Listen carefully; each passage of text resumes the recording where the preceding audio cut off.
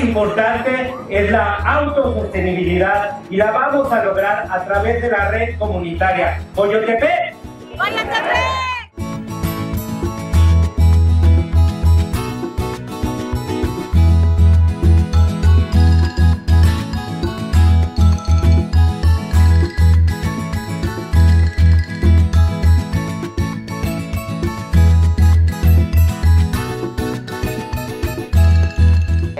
espacio era totalmente olvidado, deteriorado y gracias a la red comunitaria y, y a todo el apoyo y la colaboración, el- la asesoría de Love Fútbol, eh, es como se, hemos entrado al rescate de, de las canchas denominadas el puerto.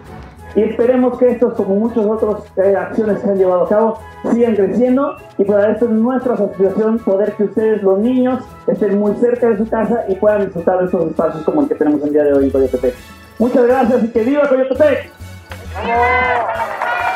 Este espacio es, decimos, más que una cancha. Es, es algo con la fuerza, la pasión de la comunidad. Han trabajado con sus ideas, habilidades